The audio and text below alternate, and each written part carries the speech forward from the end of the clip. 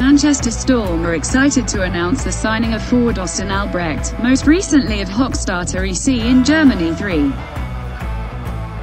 Head coach, Ryan Finnerty, had this to say about his newest recruit. Austin is another young pro that we scouted in the same fashion as Frankie Melton. We like his offensive upside and his compete level.